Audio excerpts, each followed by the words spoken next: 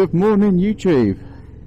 You join me on my first ride out since I've uh, damaged my distal bicep tendon, and uh, I bought the old girl out from retirement, the Kawasaki Vulcan S650 Performance. Now, I bought this bike out uh, because the Africa Twin is just going to be a no-go.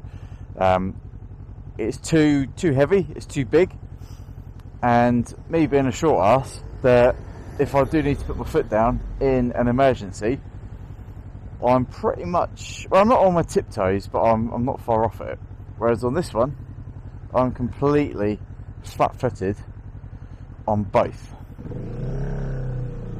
So, I thought, what better time to get the Kawasaki out than to try and learn how to ride again. And so far, my arm feels pretty good. I've not had any discomfort, which is perfect. The main thing I was worried about was actually once I'm on the bike, am I going to be able to to ride basically?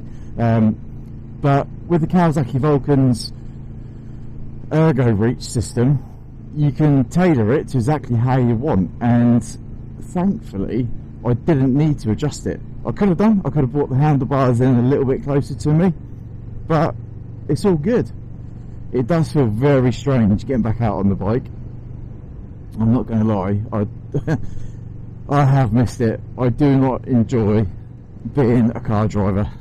Now, even though I'm back on the bike, I'm not going to be riding all the time. I'm just doing a little ride here and there, just to make sure that my arm is alright, really. I mean, at the end of the day, it's still aches. Um, it almost feels like my rotator cuff is uh, slightly weak.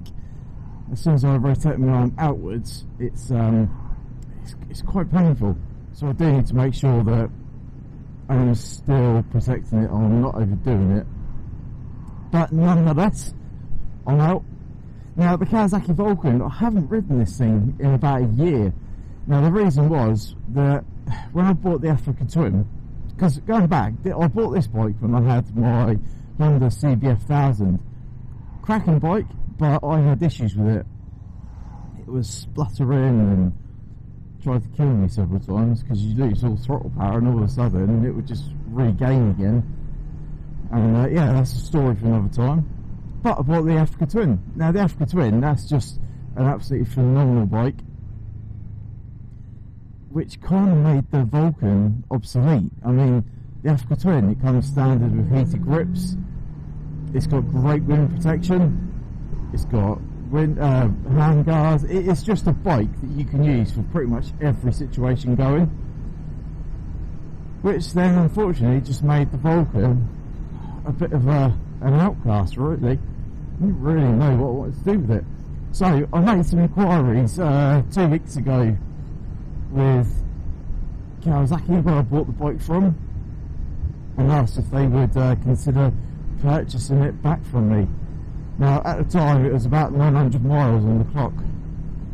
I've now done just over a thousand miles, so it's still a very low mileage Kawasaki Vulcan. The majority of these ones are going on uh, second-hand websites for about six and a half thousand pounds with two thousand miles plus on. This one hasn't even done fifteen hundred miles. So I said, "Is there anything you can do?" They said, "Yep, no problem at all. We'll buy it back off you for five two fifty. Generous offer, you might think. However, it's a year and a half old, well, me two years old, and I owe six thousand pounds on it still now six thousand pounds, a lot of money just to uh, sit on the driveway doing nothing.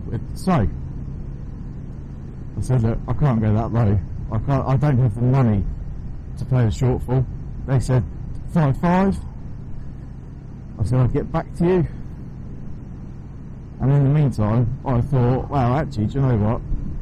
Let me see if I can ride it because there is no way on earth that I can ride the Africa Twin. Guys, I just want to bring your attention quickly to the uh, show plates I've had made up for the BMW Z4. These have been made from showplateworld.com. I've teamed up with them to produce these plates. Now I'm going to be running these on the Z4 as you can see at the front I've placed one with some sticky pads. Uh, places such as Goodwood, Thruxton or anywhere else that I go for, uh, for content creation.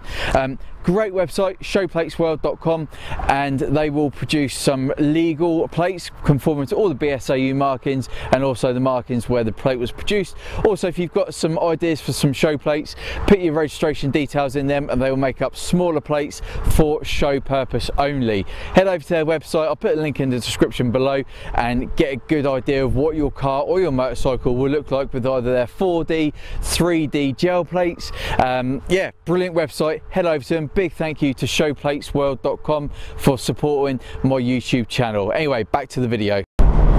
Right, so the uh, the ride didn't go quite as planned as I wanted it to. Um, I turned the camera off not long after starting, to be honest. The um, well, the weather was absolutely horrific, but the, the actual ride on my arm it didn't feel too bad. I, I managed to get on with it quite well. The the position that the Kawasaki Vulcan offers when you're riding is really really nice. Um, if I moved my forearm whilst I was actually um, holding on to the handlebar on the accelerator, then yes, I would be in excruciating pain, um, which just it was it was unbearable. So I really had to stay as still as possible on the on the uh, handlebars. That said, it wasn't too bad.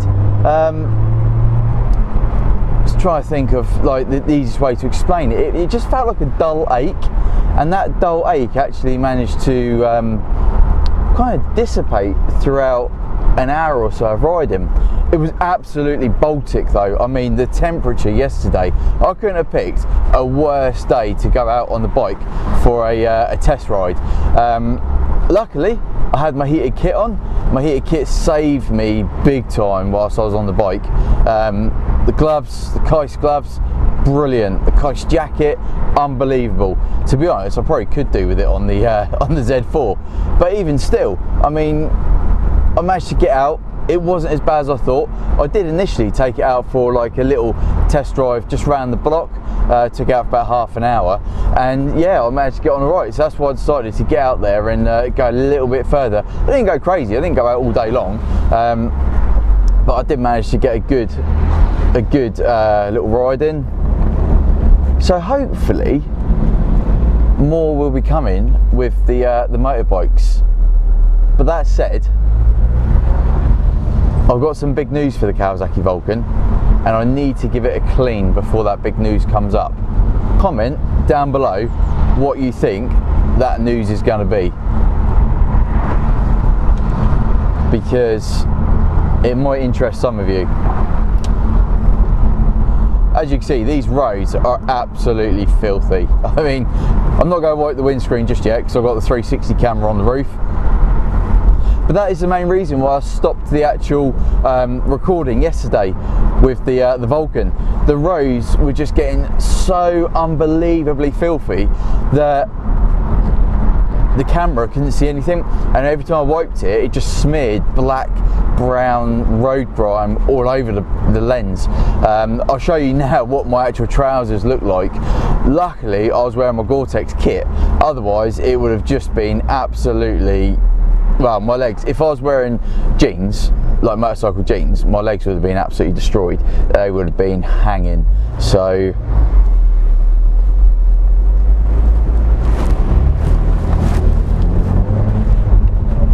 yeah, it was quite uh, quite lucky. I've got Gore-Tex.